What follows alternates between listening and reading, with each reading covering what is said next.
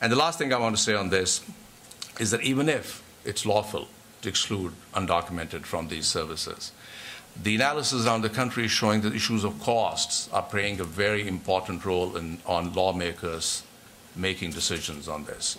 Uh, Colorado, as you know, in, 19, in, in 2006, passed a very important omnibus bill banning undocumented from a number of public uh, benefits. And analysis, they did, anal they asked 14 of the departments to see how much money they had spent just executing these new provisions and how much money had they saved by barring undocumented from this access. And it was actually hands down. They almost saved nothing, and they had spent two million bucks just implementing new procedures for, for making sure that undocumented were screened. So the issue here is there's an assumption among a lot of lawmakers that undocumented people access these services. I think most people who know undocumented know they don't access these services. The last thing they want to do is be caught in a situation where their status will come to notice and they will come into the hands of federal authorities. So I think issue on the straight issues of cost benefit analysis on this is an important public policy concern which I think uh, people should be aware of when they even when they talk about uh, the ban and, uh, on the undocumented for for the access. Let me stop there and see if I can answer any questions. Thank you uh, both very much. Uh, we will have uh, about uh, half an hour, I think, for uh, questions uh, from the various members of the committee. I'm going to defer my questions and see if there's anyone else who might want to begin. Um, I am familiar with many of the legal authorities that you have cited, although I don't don't claim to have uh, studied them in, in anywhere near the detail you have.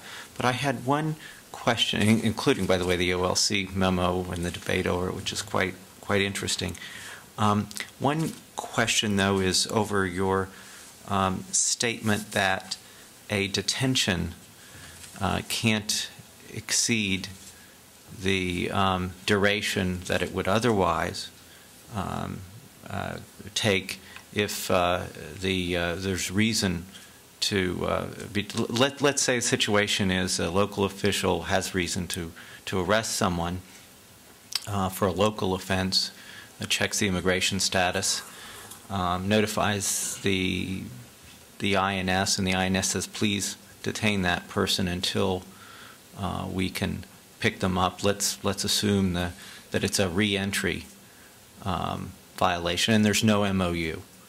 Um, it seems to me that all the states have signed with the federal government the uh, international compact, or this, the um, I should say the uh, interstate compact on detainers. Doesn't that um, either allow or possibly require, under the terms of the compact, that a detention might exceed the not that I'm advocating again yeah, right right now that they should should do that, but isn't that? I think I think especially with respect to the to the crime that you mentioned, which is 276, which is protected by the by the INA. I think if it's it's a very different analysis. I think when the federal government then requests you to detain someone, I think there the the police may be obliged actually to keep the person as long for the federal government to then come. But again, it's limited in the context of the underlying uh, crime for which that person is being detained is 276, which Congress has specifically authorized,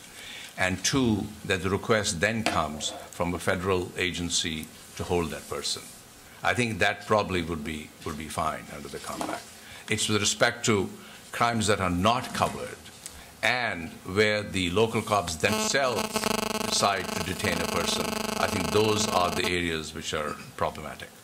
Well, like any law professor, I was going to begin with the easy and just get maybe one more to the slightly harder, and that is any any other criminal um, penalty where, um, and and let's say even the um, it's the county policy to to inquire in the INS database, and then um, contact. Uh, the federal officials and ask if they want to uh, pick them up, wouldn't uh, the compact possibly either authorize or require uh, not in the, the not in the absence of a of, in my listen there are obviously uh, legal authorities on the other side not in my opinion my in my opinion I think if there was a there was a there was a criminal arrest warrant which if the person gets into the NCIC, which is, I think, what you're talking Yes. about. And in the NCIC, this is the National Crime Information Center database. If the NCIC shows a criminal warrant against the person, then I think most people believe that you would have the right to detain the person. If the, if the NCIC does not show a criminal warrant, then you wouldn't have the right to detain the person.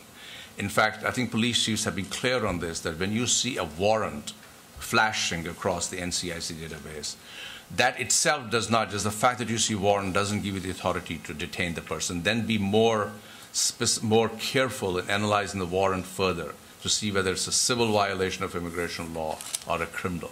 If it's civil violation, don't hold the person. If it's a criminal violation, you may get the right to hold the person. So that, I think, is, an, is the distinction. Okay, thank you. Do